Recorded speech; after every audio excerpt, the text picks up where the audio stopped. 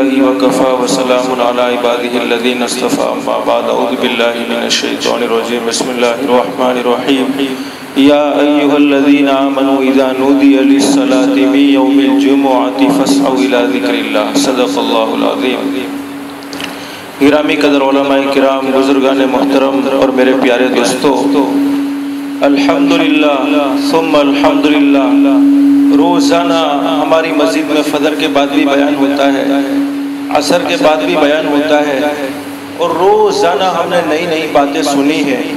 अब दुआ करो अल्लाह इन बातों पर हम सबको अमल करने की तोफीक नसीब फरमाए। लेकिन आज जुमा का दिन है, इस वजह से आज यहाँ पर बात नहीं करनी है।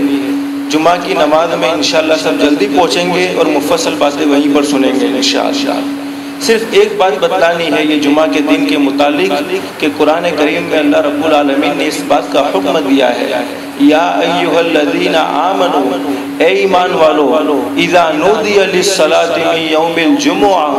जब जुमा की अजान हो जावे, जब जुमा के लिए तुमको मुअज्जिन पुकार लेवे ज़िक्रिल्लाह। तो तुम दुनियावी कामकाज को बंद कर कर अल्लाह के ज़िक्र की तरफ़ मशगूल हो जाओ, यानी मस्जिदों की तरफ़ आ जाओ।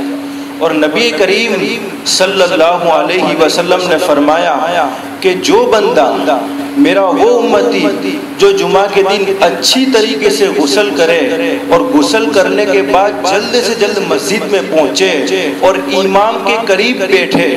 अल्लाह के रसूल सल्लल्लाहु अलैहि वसल्लम ने फरमाया कि मेरा उम्मती अच्छी तरीके से गुसल करे। गुसल करने के बाद जल्द से जल्द मस्जिद में पहुँचे और मस्जिद में पहुँचने के बाद इमाम के करीब बैठे और दुनियावी फजूल बातें और फजूल कामकाज न करे। अल्लाह के रसूल फरमाते कि हर कदम के इवज में, हर कदम के बदले में उसको एक साल भर के दिन के रोजों का और रात की इबादतों का सवाल मिलता है।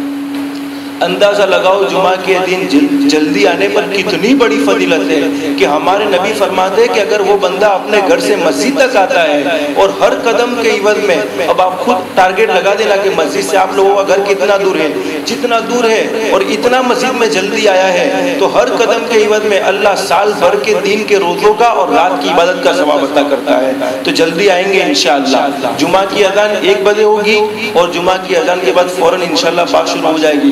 आज तक तो हम ये सुनते आए कि अल्लाह के रसूल सल्लल्लाहु अलैहि वसल्लम ने किन बातों का हुक्म दिया और किन बातों को करना है और किन बातों को नहीं करना।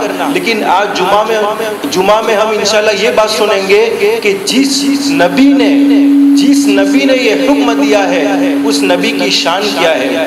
उस नबी का मकाम क्या है? उस नबी का मर्तबा क्या है? तो जुमा के दिन इंशाल्लाह आज जुमा की नमाज़ में मुफसल सारी बातें हो जाएगी इंशाल्लाह। दूसरी बात ये है कि जुमा के दिन अल्लाह के रसूल सल्लल्लाहु अलैहि वसल्लम ने फरमाया कि जुमा में एक घड़ी ऐसी होती है, जिस घड़ी में अल्लाह रब्बुल आलमीन से बंदा जो भी माँगता है उसको नसीब हो जाता है। अगर बंदे को कोई परेशानी है, जुमा में एक घड़ी है और बाज़ का कहना है कि वो घड़ी आखिरी घड़ी है, यानी असर से मगरिब के दरमियान की है। बास का कहना है कि जो जुमा की नमाज़ होती है, खुतबा खड़े होने से पहले, खुतबा शुरू होने से पहले वो घड़ी है। तो जुमा में इस बात का खास ख्याल रखना है। अगर हमें परेशानी है, अगर हम कोई गम में मुबतला है, अल्लाह से जुमा के दिन मांग लगे मांग ले। और ये तो रमज़ान का महीना है। अल्लाह बदर से ओला देने वाला है। बशर्ते कि ऐसी चीज़ मांगे जिसका मांगना जायज़ है। अल्लाह आलमीन उसको ज़रूर अता फरमाएँगे। उस जुमा की नमाज़ में सब जल्दी आओगे ना इंशाल्लाह अरे बोलो, आओगे ना जल्दी इंशाल्लाह अजान से पहले आ जाओगे इंशाल्लाह अल्लाह अमल की तौफीक नसीब फरमाए वाह